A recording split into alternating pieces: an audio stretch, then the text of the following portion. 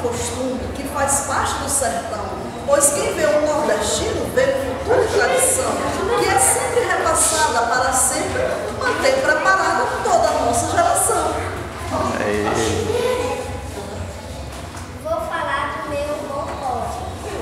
Um produto genial nas casas elegantes, como arte natural e nas casas do barões, como grandes invenções da ciência original. Olha, quem falou aqui foi a Anne Beatriz, e linda, linda sua leitura. Vamos passar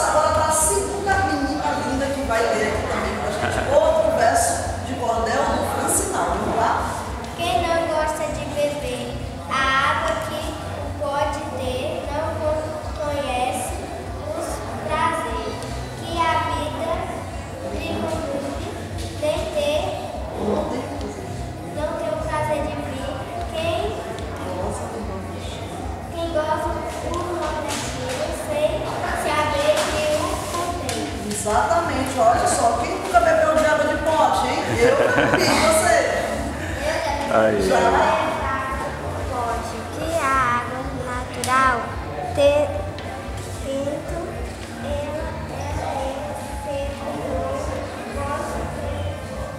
ela é sempre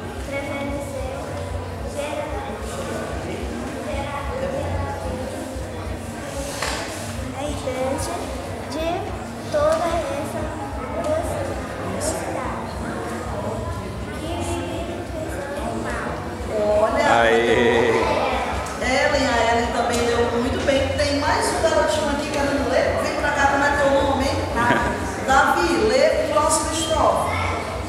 A água do pote, do pote é bem fria e tem mais sabor, pois tem o gosto da arte e do olheiro, o valor, com sua dessicação e a luz que vem então da mente do Criador. Olha Aí. que estrofe. Acho, acho que essa aqui talvez é uma das mais bonitas.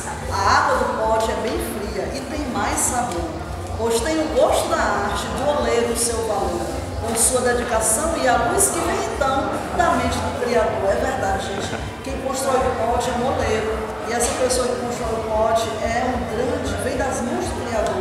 É um grande oleiro, é uma grande, um grande construtor. Parabéns ao Francinal, vou mostrar mais uma vez aqui o seu livrinho sobre o pote. Lindo, Francinal. Parabéns. Maravilha. Secretária, só uma, um alô aí pro Francinaldo. Eu até vou deixar alguns dos cordéis com, com a senhora aí, que é interessante também distribuir até na, em algumas das, das bibliotecas, né? Das É escolas. verdade. É assim, dizer para o Francinal que eu amo cordel, acho que são literaturas como essa que fazem o nordestino e fazem a gente ter orgulho de ser nordestino. Parabéns, Francinal. Pode ter certeza que esses seus livrinhos vão chegar nas escolas. É só nos procurar, viu?